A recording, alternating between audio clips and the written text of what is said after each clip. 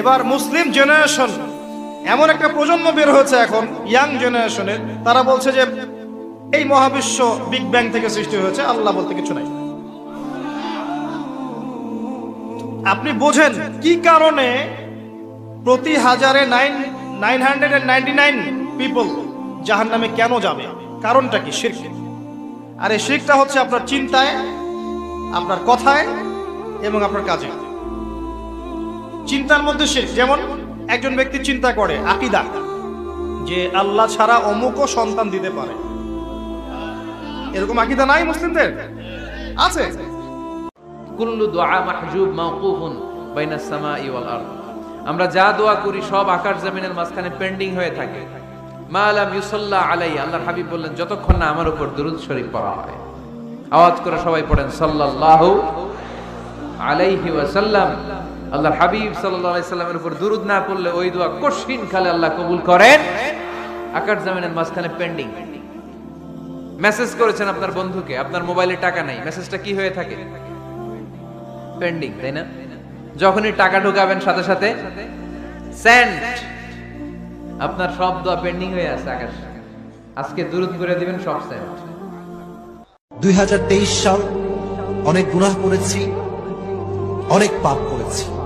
অনেক জুলুম করেছি। আল্লাহ, তুমি তেইশ সাল যত গুনাহ আমার আছে, সব মাফ করে দাও এবং দুই সাল আমি যেন পরিপূর্ণ তোমার গোলাম হতে পারি, তোমার রাস্তায় চলতে পারি, গুনাহ থেকে বাঁচতে পারি, নিজের পুরো জীবনটা যেন তোমার জন্য উৎসর্গ করতে পারি। সেই তৌফিক আমাদের সবাইকে তুমি দান করে দাও প্রণামী আমার চামড়া দিয়ে যদি আমার বাবা মাকে আমি জুতা বানিয়ে দিই তবুও বাবা মার ঋণ শোধ করা যাবে না। আল্লাহ তালা মা বাবার জন্য আলাদা ফরম্যাটে দোয়া শিখাইছেন। আমরা সবাই জানি সেটা। রব্বের হামহুমা। আহা আহা এ দোয়াটার অর্থটা কি ভাই? একটু খেয়াল করেন। আহ, কত মায়ার কথা। রব্বের হামহুমা, হে আমার রব, আমার মা, আমার বাবা যে চলে গেছেন, তাদের প্রতি আপনি একটু রহম করিয়েন আল্লাহ। আপনি একটু দয়া করিয়েন আল্লাহ। কীরকম দয়া? আমি ছোট থাকতে তারা যেরকম দয়া করেছে।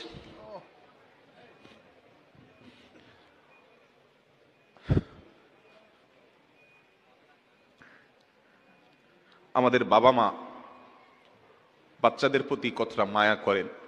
আমার সাথে আমার ওয়াইফের প্রায় তর্ক হয়। মিষ্টি ঝগড়া আর কি যে মেয়েদের মধ্যে কারা দাওয়াতে কাজ করবে? কে দাওয়াতে কাজ করবে? এখন ছেলেদেরকে মেয়েদের পর্যন্ত অ্যাক্সেস দেওয়া যাচ্ছে না। সঙ্গত কারণ আছে। আবার আমরা মেয়েদেরকে মসজিদেও আনছি না। বিকজ মেয়েরা সারা দুনিয়া ঘুরলে ফেতনা হবে না, কিন্তু মসজিদে আসলে ফেতনা হবে যেহেতু। এই কারণে মেয়েদেরকে আমরা মসজিদেও আনতে পারছি না। মেয়েরা ওয়াজ মাহফিলে যাচ্ছে হয়তো একটা প্যান্ডেলে। ওখানে গিয়ে ঝালমুড়ি খাচ্ছে, কি শিখছে আল্লাহ ভালো জানে। ওখানে বসে সারা দুনিয়ার বাড়ির কথাবার্তা হচ্ছে।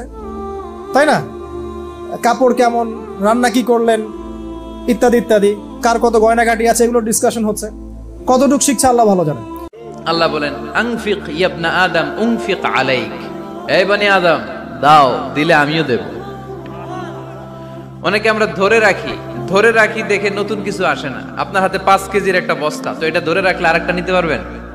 এটা ফালাই দিলে না দশ কেজি ধরতে পারবেন? কথা কয় না? পাঁচ কেজির এটা দিয়ে দেন, বিশ কেজি আসবে। বিশ কেজির ওইটা দিয়ে দেন, চল্লিশ কেজি আসবে, আর পাঁচ কেজি ধরে রাখলে নতুন কিছু আসবে। আদম আলাইক। এ বনি আদম, দান করো, তুমি দিলে আমি তোমারে দিব। সুবহানাল্লাহ, পড়েন।